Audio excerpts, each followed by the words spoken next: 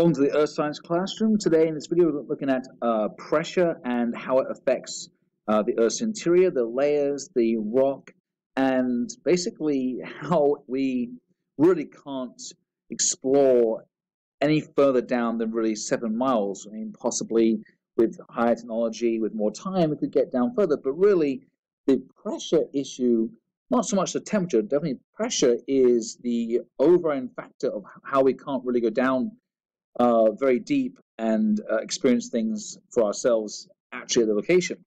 And the pressure is quite incredible. So if we're looking at the Earth's interior, and in previous videos we looked at the temperature, and we saw the temperature goes from on the surface is an average of 55 degrees,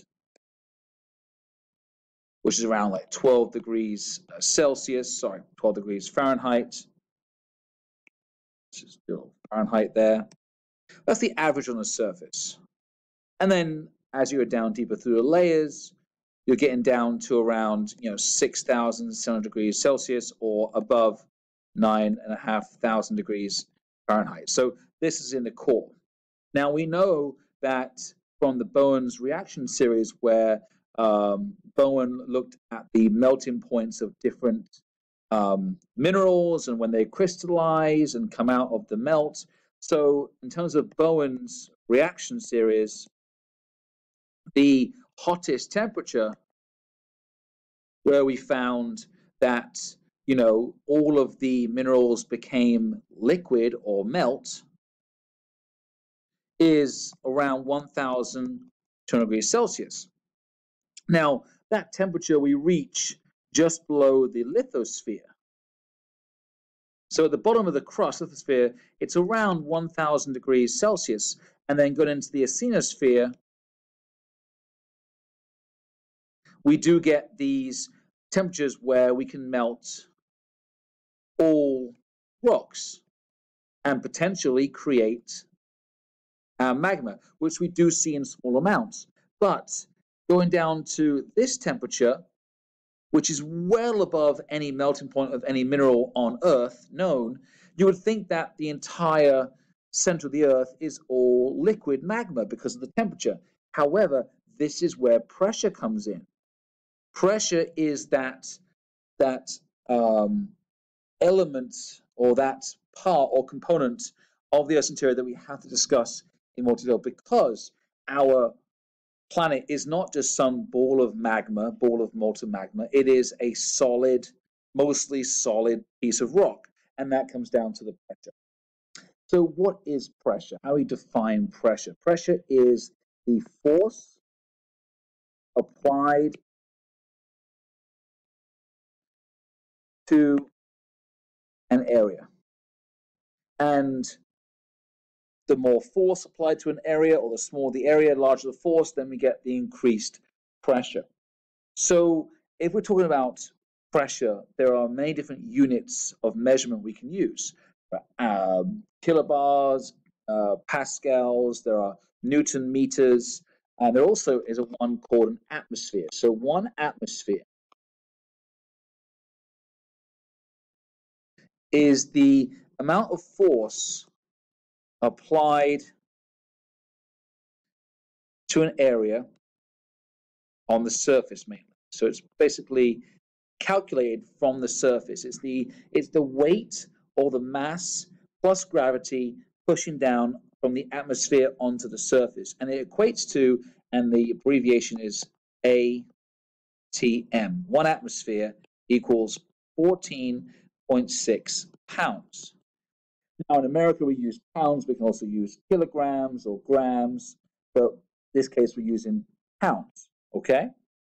So in terms of pressure, we can look at, um, this is pounds per area, so it's pounds per square inch, which is abbreviated to PSI, pounds per square inch. So one atmosphere, so when you wake up and you get out of bed, you stand up, you are having one atmospheric amount of pressure on your body, which is 14.6 pounds per square inch applied to your body. Now, humans don't really notice that because we are have evolved and we are used to this pressure and we have grown up with this pressure. So it's, it's nothing different or new for us. It's just what we expect. It just happens like naturally. So 14.6 pounds.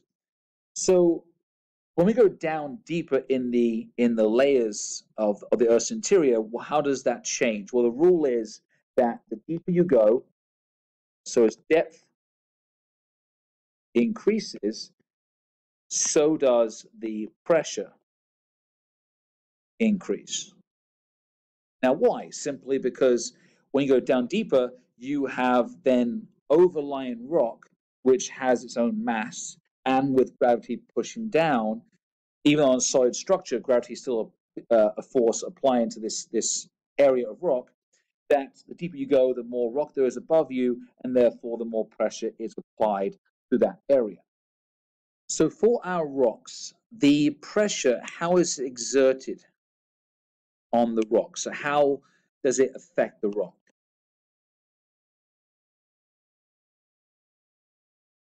Affect or effect the rock? Well, if you take this rock, okay, and you bury it under the ground, let's say in the crust a few a few hundred meters, what's going to happen happen is the pressure uh, is going to be applied in all directions. Now, in terms of force, this is called confining. Stress.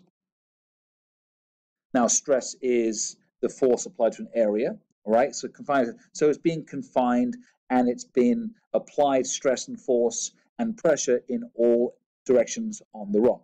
But in terms of general pressure, we are looking at this term, and it is lithostatic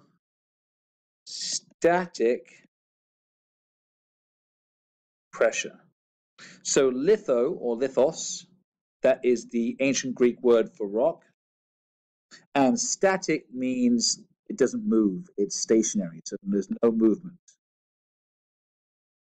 So this rock could be a certain depth in the Earth's interior. It's not really moving. There's no uplift. There's no uh, change in its its its depth or its position. So there's it's just the amount of pressure that is on that rock at that point in time without any movement. So on the left here, I had this rough diagram of the the six main physical layers of our Earth's interior, from the crust all the way down the inner core. And I put here the distance basically the radii of the Earth, which is 6,371 kilometers, which equates to 6,700 degrees Celsius uh, of the temperature in the core.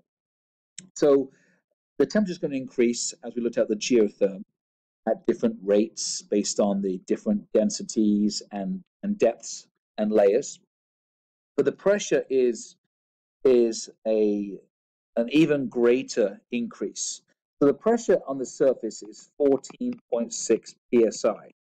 So the pressure uh, applied to you is one atmosphere, which, which equates to 14.6 psi. Now, if we go down deeper, so we go down to, let's say, uh, seven kilometers, which is about five miles, so maybe below the ocean, oceanic crust, uh, lithosphere, down that deep where the moho is under the ocean, or just into the, um, you know, as far as we can drill basically pretty much on the continents, we're looking at uh, 10,000, 10,000 psi. So I'm going to put it right here. 10,000 psi. So in context, that's 10,000 pounds per square inch applied to that rock. So a, a metric ton is 2,000 pounds. We're looking at five tons of pressure being applied onto that rock at this depth. Five tons which is incredible, only five miles down. Now, if we go down to 100 kilometers, the pressure increases exponentially. Now we're up to 100 kilometers, which is basically the the um, the lowest part of the the Moho. We're under an uh, under a mountain range, but around here, looking at over 426,000 psi. So let's put that in context.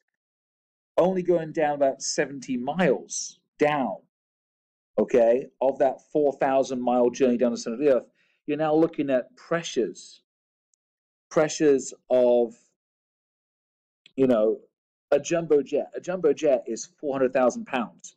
The Statue of Liberty weighs 450,000 pounds. So you're looking at a jumbo jet pushing down on every square inch of that rock.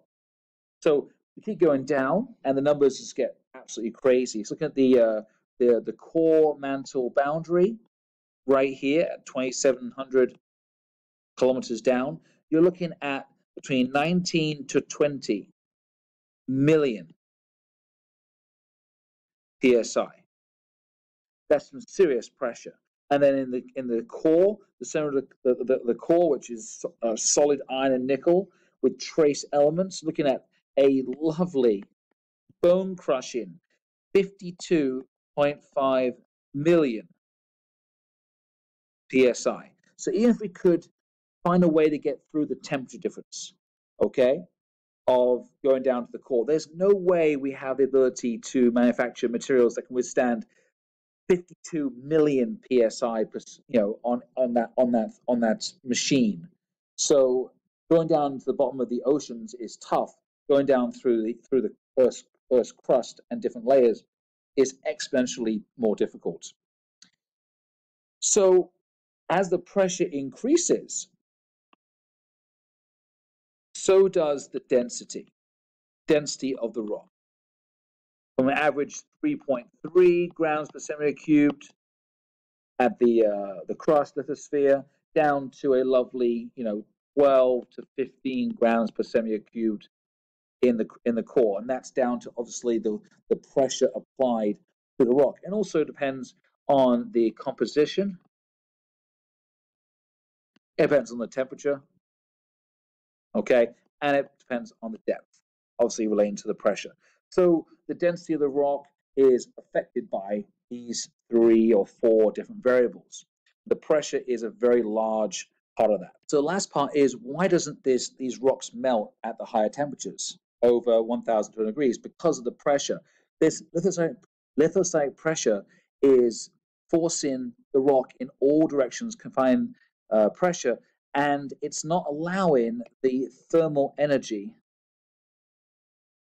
which relates to kinetic energy within molecules, it's not allowing it to move. There is no, so even though the temperature can be at 6,000 degrees, there's nowhere for the atoms and molecules to move to to go from a solid to a liquid in a phase change.